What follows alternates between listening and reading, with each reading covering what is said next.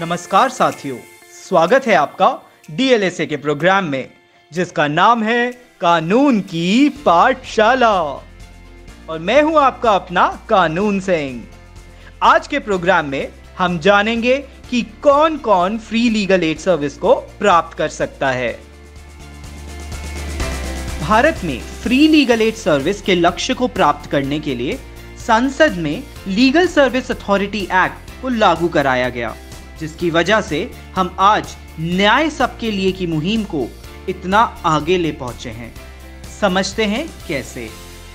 राष्ट्रीय स्तर पर मदद करने के लिए है नेशनल लीगल सर्विसेज़ अथॉरिटी सभी राज्यों में निशुल्क सर्विसेज़ का मुहैया कराती है स्टेट लीगल सर्विस अथॉरिटी जैसे दिल्ली राज्य में है Delhi state legal services authority मुफ़्त कानूनी सहायता को दिल्ली में स्थित 11 जिलों से हासिल किया जा सकता है, जिसमें से एक है north west district legal services authority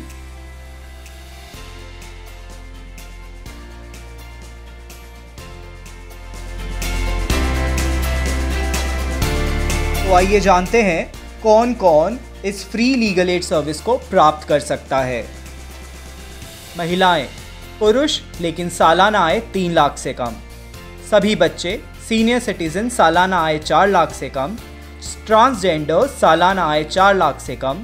disabled schedule का schedule tribes disaster victim infected and affected with H I V AIDS accused in custody workman और labour daily victim compensation scheme beneficiaries motor accident in claim claimants victims of human trafficking और beggar आशा करता हूँ हमारी इस मुहिम को आप ज़रूरतमंद लोगों तक ज़रूर पहुँचाएँगे।